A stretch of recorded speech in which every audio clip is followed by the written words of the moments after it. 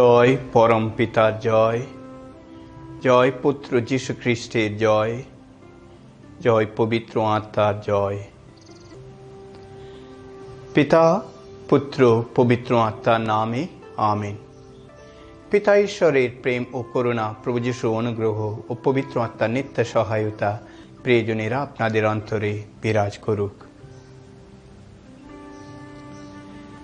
পবিত্র আত্মা হলেন পবিত্র তৃত্বের অঙ্গাঙ্গীভাবে যুক্ত একজন ব্যক্তি। পবিত্র আত্মা প্রত্যেক খ্রিস্ট বিশ্বাসী জীবনে এমন এক গুরুত্বপূর্ণ ও অনিবার্য ভূমিকা পালন করেন যে পবিত্র আত্মাকে বাদ দিয়ে খ্রিস্টীয় জীবনকে কল্পনা করা যায় না। আর এই পবিত্র আত্মা পিতা আর পুত্রকে নিয়ে যে পবিত্র তৃত্ব, এই ধর্ম তত্ত্ব এটাই তো আমাদের খ্রিস্টীয় বিশ্বাসের ভিত। পিতা পরমেশ্বর আমাদের সৃষ্টি করেছেন, পুত্র যীশুখ্রিস্ট আমাদের মুক্তি সাধন করেছেন আর পবিত্র আত্মা আমাদের সঙ্গে পথ চলেছেন। পবিত্র আত্মা হলেন পিতা ও পুত্রের মধ্যে যে বন্ধন রয়েছে, সেই বন্ধন। আর পবিত্র আত্মা ছিলেন প্রভু যীশু খ্রিস্টের এই পার্থিব জীবনের নিত্য সঙ্গী। প্রভু যীশু খ্রিস্টের জীবনের প্রত্যেক মুহূর্তে এই পরম আত্মা যিশুর সঙ্গে ছিলেন। এমনকি আমরা দেখতে পাই লোকরচিত মঙ্গল সমাচার এক অধ্যায় পঁয়ত্রিশ পদে যে স্বর্গদূত যখন কুমারী মারিয়ার কাছে মুক্তিদাতার জন্ম সংবাদ নিয়ে আসেন, তখন মারিয়ার কাছে তিনি জানিয়ে দিচ্ছেন কীভাবে তিনি সেই মুক্তিদাতাকে তার গর্ভে ধারণ করবে। আসুন আমরা সেই বাণী শুনি। লোকরচিত মঙ্গল সমাচার, এক অধ্যায় পদ সংখ্যা পঁয়ত্রিশ। উত্তরে দূতটি বললেন, পবিত্র আত্মা এসে তোমার উপর অধিষ্ঠান করবেন। পরাত পরে শক্তিতে আচ্ছাদিত হবে তুমি। তাই এই যার জন্ম হবে, সেই পবিত্র জন ঈশ্বরের পুত্র বলেই পরিচিত হবে। তাহলে আমরা এখানে দেখতে পাই যে পবিত্র আত্মা হলেন পরাত পরে শক্তি। আর এই শক্তিতে কুমারী মারিয়া আচ্ছাদিত হবেন। তার ফলে তিনি মুক্তিদাতাকে গর্ভে ধারণ করবেন, তার জন্ম দেবেন। আজকে আমরা পরমপিতার কাছে সেই একই প্রার্থনা যাচনা করি। তিনি যেন আমাদের প্রত্যেককে তাঁরই এই শক্তিতে আচ্ছাদিত করেন, যাতে আমরাও আমাদের জীবনে তার পূর্ণ ইচ্ছা পূরণ করতে পারি।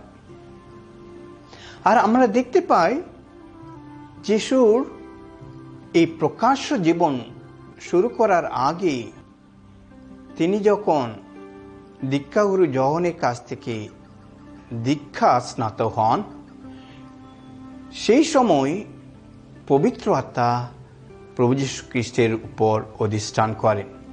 আমরা সেই কথা শুনতে পাই মতিরচিত মঙ্গল সমাচার, তিন অধ্যায় পদ সংখ্যা ষোলো থেকে সতেরো। দীক্ষাস্নাত হয়েই যিশু জল থেকে উঠে এলেন, আর সেই মুহূর্তে তাঁর সামনে স্বর্গলোক উন্মুক্ত হল। তিনি দেখতে পেলেন ঐশ আত্মা এক কপতের মতো নেমে আসছেন, তার উপর অধিষ্ঠিত হচ্ছেন। সেই সময়ে স্বর্গ থেকে কার যেন কণ্ঠস্বর বলে উঠল, এ আমার পুত্র, আমার একান্ত প্রিয়জন, এ আমার পরম প্রীতিভাজন। তাই যিশু সেই দীক্ষা স্নানের পরে স্বয়ং পবিত্র আত্মা যিশুর উপর নেমে আসেন। তাকে সেই শক্তি দান করছেন যাতে তিনি যে তিন বছরের প্রকাশ্য জীবন শুরু করছেন, বাণী প্রচারের কাজ শুরু করছেন, তা যেন তিনি সুষ্ঠুভাবে করতে পারেন। আবার সেই একই পরম আত্মার দ্বারা যিশু মরু প্রান্তরে যান। আমরা শুনতে পাই মতি রচিত মঙ্গল সমাচার, চার অধ্যায়ে এক পদে আমরা শুনি, যিশুর দীক্ষা স্নানের পর পবিত্র আত্মা যিশুর দীক্ষা স্নানের পর পবিত্র আত্মা তাকে নিয়ে গেলেন মরু প্রান্তরে। কেননা সেখানে শৈতান তাকে নানাভাবে প্রলোভনে ফেলতে চেষ্টা করবে। তাহলে পবিত্র আত্মার দ্বারা অনুপ্রাণিত হয়ে যিশু সেই মরু প্রান্তরে এগিয়ে যাচ্ছেন। এইভাবে আমরা দেখতে পাই, পরম আত্মা যিশুর জীবনের প্রত্যেক মুহূর্তে তার সঙ্গে ছিলেন। আমাদের জীবনে আমরা যদি সেই একই পরম আত্মাকে চাই, সেই একই পরম আত্মার দ্বারা অনুপ্রাণিত হতে চাই, তারই দ্বারা আচ্ছাদিত হতে চাই, তাহলে আমাদের সবাইকে পরম আত্মায় জীবনযাপন করতে হবে। কারণ আমরা এই সংসারে জীবনযাপন করতে গিয়ে আমরা অনেক সময় এই সংসারের মায়া মোহে সঙ্গে জড়িয়ে পড়ি। তখন আমাদের মধ্যে এই পরম আত্মার গুঞ্জন আমরা শুনতে পারি না। আর সেই কথা আমরা শুনতে পাই রোমিওদের কাছে সাধু পলের ধর্মপত্রের আট অধ্যায়ে। এখানে সাধু পল বলছেন যে আমাদের সবাইকে পরম আত্মায় জীবনযাপন করতে হবে। রোমিওদের কাছে ধর্মপত্র, আট অধ্যায়, পদ সংখ্যা নয় থেকে এগারো।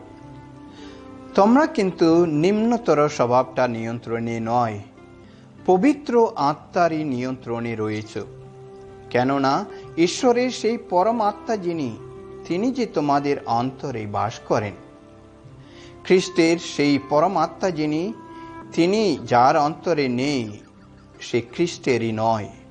তবে যদি খ্রিস্ট তোমাদের অন্তরে থাকেন, তাহলে পাপের ফলে তোমাদের দেহের অনিবার্য পরিণাম মৃত্যু হলেও ধার্মিকতা লাভের ফলে তোমাদের আত্মা কিন্তু জীবিতই আছে।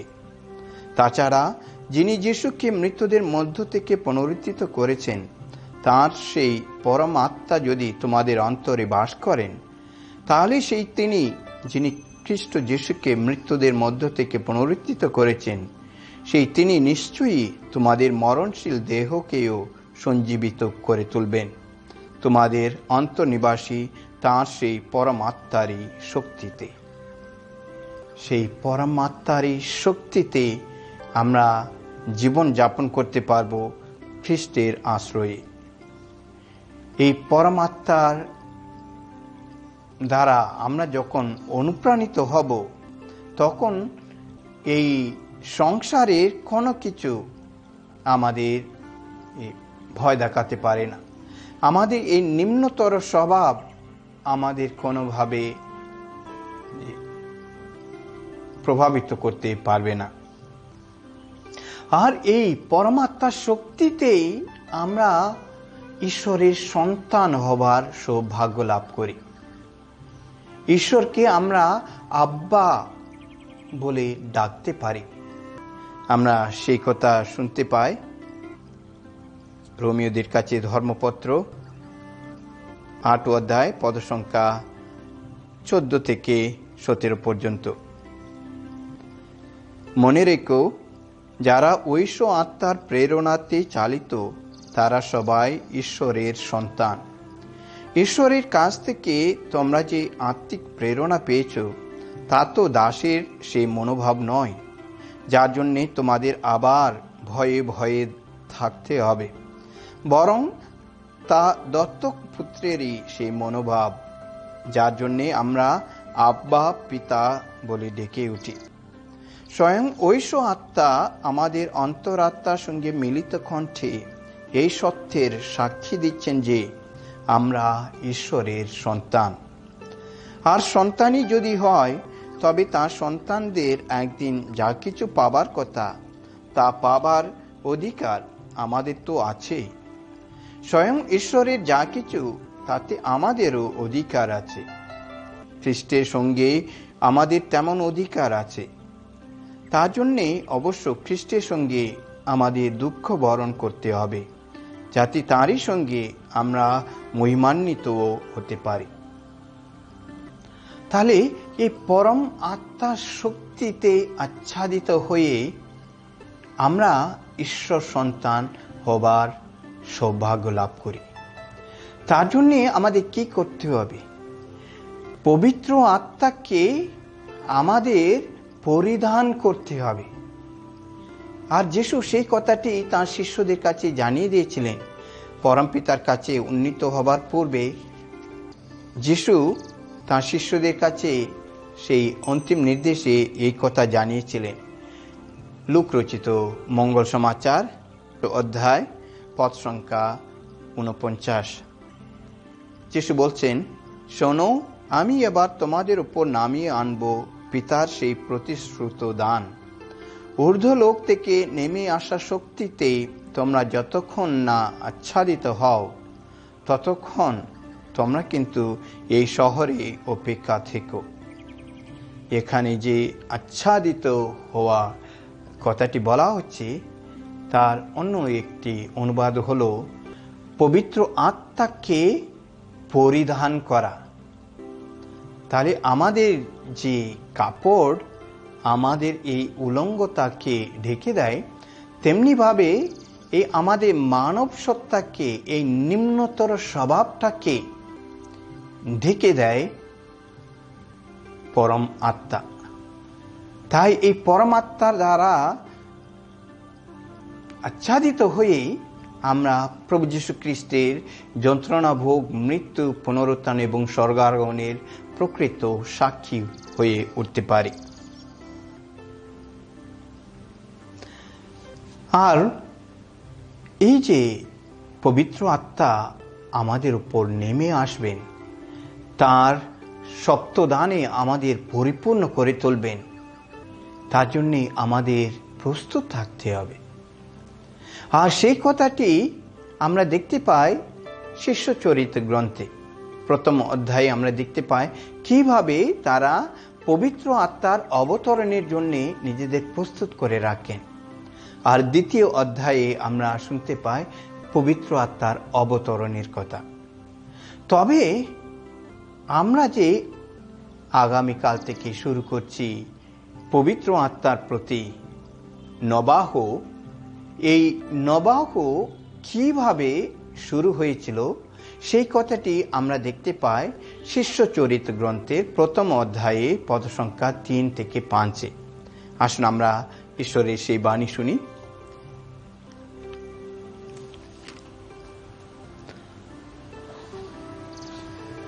যিশুর যন্ত্রণাময় মৃত্যুর পরে প্রেত দুধে দেখা দিয়ে তিনি যে জীবিত আছেন, তার অনেক প্রমাণ তাদের সামনে তুলে রেখে ধরেছিলেন। চল্লিশ দিন ধরে তিনি বারবার তাদের দেখা দিয়েছিলেন আর ঐশ্ব রাজ্য সম্বন্ধে নানা কথা বলেছিলেন। সেই সময় একদিন তিনি যখন তাদের সঙ্গে ছিলেন, তখন তিনি তাদের এই নির্দেশ দিয়েছিলেন, তোমরা এখন জেরুসালেম ছেড়ে চলে যেও না। পিতার যে প্রতিশ্রুতির কথা তোমরা আমার কাছে শুনেছ, সেই প্রতিশ্রুতি পূর্ণ হওয়ার জন্যে তোমরা অপেক্ষা করো। কারণ যখন তো জল দিয়ে মানুষকে দীক্ষাস্নাত করেছেন, তোমরা কিন্তু অল্প দিনের মধ্যে পবিত্র আত্মায় অবগাহিত হয়ে দীক্ষাস্নাত হবে। তাহলে পবিত্র আত্মা যখন আমাদের উপর নেমে আসবেন, তিনি তারই শক্তিতে আমাদের অবগাহিত করে দীক্ষাস্নত করবেন। আমরা এক নতুন জীবন আমরা লাভ করব। এবার আমরা আসি। যিশু চল্লিশ দিন ধরে তার পুনরুত্থানের পরে তার শিষ্যদের সঙ্গে দেখা করেন। তাদের দর্শন দান দেন। আর এই চল্লিশ দিনের পরে তিনি মহিমায় পিতার কাছে উন্নীত হন। তাহলে চল্লিশ দিনে যিশুর পুনরুত্থানের চল্লিশ দিনের মাথায় ঘটে যিশুর স্বর্গার হন আর এই চল্লিশ দিনে যিশু তার শিষ্যদের নির্দেশ দিচ্ছেন, তারা যেন তার প্রতিশ্রুত পবিত্র আত্মার অবতরণের জন্যে অপেক্ষায় থাকেন। আর আমরা জানি, পবিত্র আত্মা শিষ্যদের উপর, মা মারিয়ার উপর নেমে আসেন সেই পঞ্চাশ দিনে। পঞ্চসপ্তমী কথাটির অর্থ তাই, পঞ্চাশ দিনে। তাহলে এই চল্লিশ দিন থেকে পঞ্চাশ দিন পর্যন্ত সেই মধ্যবর্তী সময় হলো নয় দিন। আর এই নয় দিন হলো পবিত্র আত্মার জন্যে শিষ্যদের প্রস্তুতি পর্ব, প্রস্তুতির সময়। আধ্যাত্মিকভাবে পবিত্র আত্মাকে গ্রহণ করার জন্যে প্রস্তুত করার সময়। আর এই নয় দিন হল ইতিহাসে প্রথম নবাহ। আমরা ভেলাঙ্কানি মায়ের জন্য নবাহ করি, সাধু আন্তনির পর্বের জন্য নবাহ করি। আমাদের প্রিয় সাধু সাধীদের পর্ব উপলক্ষে নবাহ আমরা করি। তবে এই হলো সকল নবাহের জননী বলা যেতে পারে। মাদার অফ অল নবীনাস কারণ এই ছিল ইতিহাসে মণ্ডলীর প্রথম নবাহ। আর আমরা জানি সেই সময় মণ্ডলীর জন্ম হয়নি। আসলে এই দিনটি, এই পঞ্চাশত্তমী দিনটি, পবিত্র আত্মার অবতরণের দিনটি হল মণ্ডলীর জন্মদিন। তাই আমরা এই মহাদিনের জন্য, এই বিশেষ স্মরণীয় দিনের জন্য নিজেদের প্রস্তুত করি। এক হলো, আমরা পবিত্র আত্মার অবতরণের জন্য আধ্যাত্মিকভাবে নিজেদের প্রস্তুত করি। তাই এই সময়টি, এই নয় দিনটিকে আমরা বলতে পারি একটি ছোট্ট ক্ষুদ্র আগমনকাল। যেভাবে আমরা ডিসেম্বর মাসে শুরু থেকে চব্বিশ তারিখ পর্যন্ত আগমন কালে আমাদের প্রভু যীশু খ্রিস্টের জন্মের জন্যে অপেক্ষায় থাকি। তেমনি এই নয় দিন হলো আর একটি ক্ষুদ্র আগমন কাল যখন আমরা পবিত্র আত্মার আগমনের জন্য নিজেদের প্রস্তুত করে রাখি। তাই এই এই নয় দিনে আমরা কীভাবে নিজেদের প্রস্তুত করতে পারি? যাতে ঈশ্বরের এই পরম আত্মা তার শক্তি দিয়ে আমাদের উপর নেমে আসেন, আমাদের প্রত্যেককে আচ্ছাদিত করেন, যাতে আমরা তারই দেওয়া শক্তিতে পরিপূর্ণ হয়ে উঠতে পারি। কীভাবে আমরা নিজেদের প্রস্তুত করতে পারি? আমরা প্রস্তুত করতে পারি উপবাস, প্রার্থনা আর ধর্ম কাজ নিয়ে। দয়ার কাজ দিয়ে। এইভাবে আমরা নিজেদের এই গুরুত্বপূর্ণ দিনের জন্য প্রস্তুত করতে পারি।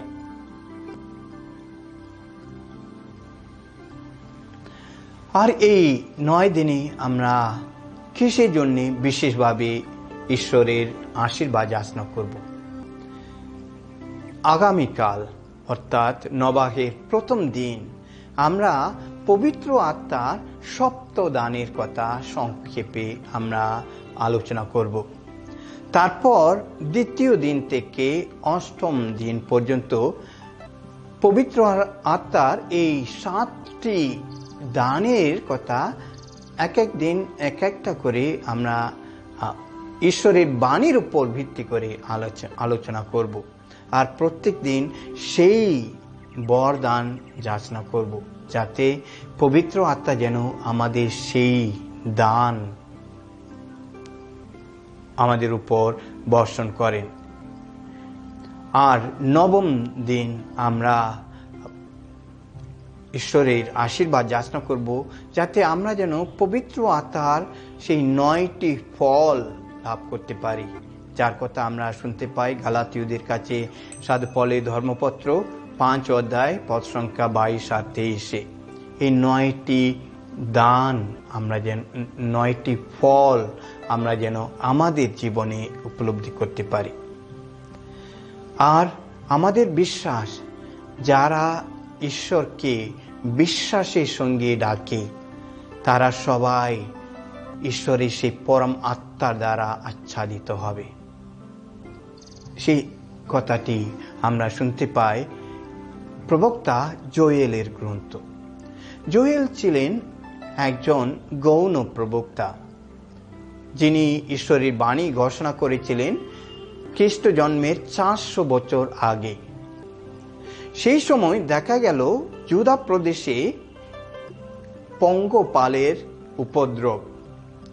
অনাবৃষ্টি একদিকে আর অন্যদিকে পঙ্গপাল। দেশকে সম্পূর্ণভাবে ধ্বংস করে দিচ্ছে।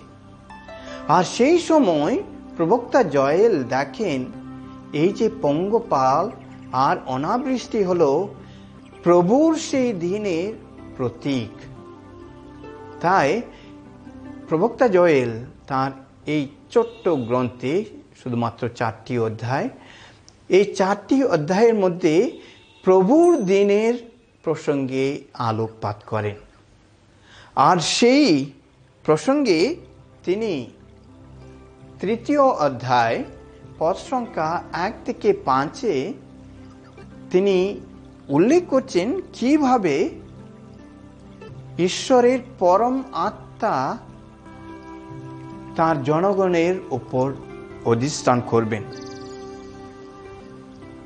জয়েলের গ্রন্থ তৃতীয় অধ্যায় পদ সংখ্যা এক থেকে পাঁচ।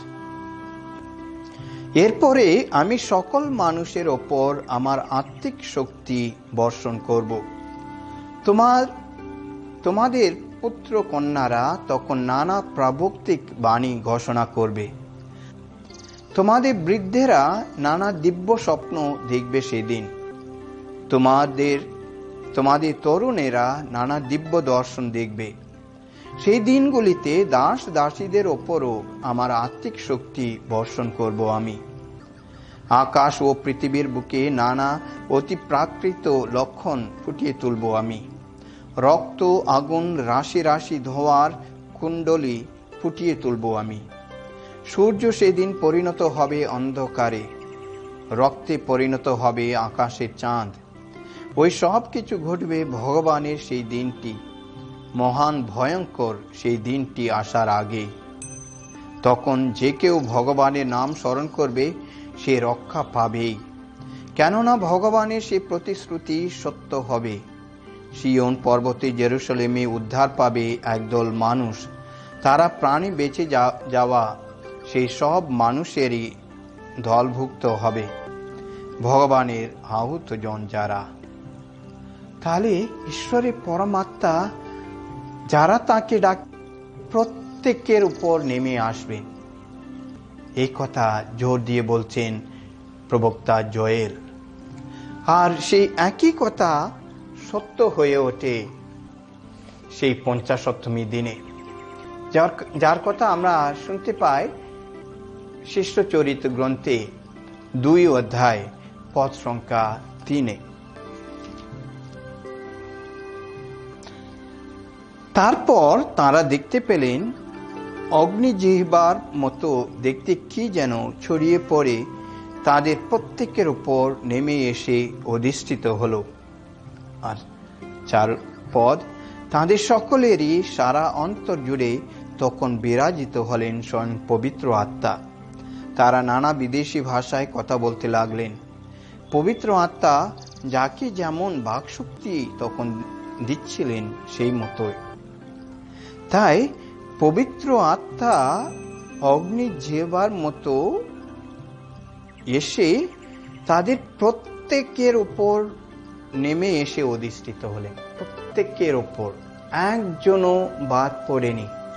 সে গরিব হতে পারে, ধনী হতে পারে, সে শহরের মানুষ হতে পারে, গ্রামের মানুষ হতে পারে। প্রত্যেক মানুষ যারা সেই পরমাত্মার অবতরণের অপেক্ষায় ছিল। তারা সবাই সেই আত্মাকে, আত্মা দ্বারা আচ্ছাদিত হয়েছিল। সে পরমাত্মা তাদের প্রত্যেকের উপর নেমে এসেছিলেন তাই আমরা এই দৃঢ় বিশ্বাস রাখতে পারি যে ঈশ্বরের বাণী যারা এই মুহূর্তে শুনছেন তাদের প্রত্যেকের উপর সেই একই পরম আত্মা নেমে আসছে। সেই একই পরমাত্মা তাদের প্রত্যেককে আচ্ছাদিত করতে চলেছেন। আমরা যদি বিশ্বাসের সঙ্গে তাকে ডাকি, তখন সত্য হবে ঈশ্বরের এই বাণী। তাই আসুন, গভীর বিশ্বাস ও প্রত্যাশা নিয়ে আমরা এই নয় দিন প্রার্থনা করি, যাতে ঈশ্বরের সেই পরম আত্মার শক্তি যেন আমাদের উপর অধিষ্ঠান করে। ঈশ্বরের পরম আত্মার দ্বারা আমরা যেন আচ্ছাদিত হতে পারি, যাতে আমাদের জীবন নিম্নতর স্বভাবের তাড়নায় নয়, বরং সেই ঐশ্ব আত্মার প্রেরণায় যেন চালিত হয়। তাই আসুন, আমরা চোখ বন্ধ করে, আমাদের পরম করুণাময় পিতার কাছে প্রার্থনা করি, তিনি যেন তার পুত্র যীশু খ্রিস্টের প্রতিশ্রুত সেই পরম আত্মাকে সেই সত্যময় সহায়ক আত্মাকে আজ আমাদের উপর প্রেরণ করেন, আমাদের কাছে প্রেরণ করেন, যাতে তাকে পেয়ে আমরা প্রভু যীশু খ্রিস্টের জীবন ও মৃত্যু পুনরুত্থান এবং তার স্বর্গারোহণের প্রকৃত সাক্ষী হয়ে উঠতে পারি। এই পরম করুণাময় পিতা, তোমার সকল দানের জন্য আমরা তোমাকে শতকোটি ধন্যবাদ জানাই। তুমি আমাদের আপন সাদৃশ্যে আপন প্রতিমূর্তিতে সৃষ্টি করেছ, যাতে আমরা তোমার সেই পরম আত্মার দ্বারা অনুপ্রাণিত হয়ে তোমার পরম আত্মায় জীবন যাপন করতে পারি। আমরা তোমাকে ধন্যবাদ জানাই আমাদের সেই মুক্তিদাতা যীশু খ্রিস্টের জন্যে, যিনি পবিত্র আত্মার দ্বারা গর্ভস্থ হয়ে মানুষ হয়ে জন্ম নিয়েছিলেন, যাতে আমাদের জীবনের দুঃখ, কষ্টে জ্বালায় যন্ত্রণায় তিনি যেন আমাদের পাশে থেকে সাহায্যের হাত বাড়িয়ে দেন। আর তিনি আমাদের প্রতিশ্রুতি দিয়েছিলেন যে তিনি তোমার কাছ থেকে প্রেরণ করবেন সেই সত্যময় সহায়ক আত্মাকে যিনি আমাদের স্মরণ করে দেবেন, আমাদের প্রভু যীশু খ্রিস্টের প্রত্যেক শিক্ষা, তিনি আমাদের যা কিছু শিখিয়ে দিয়েছিলেন, সব কথা তিনি আমাদের স্মরণ করিয়ে দেবেন।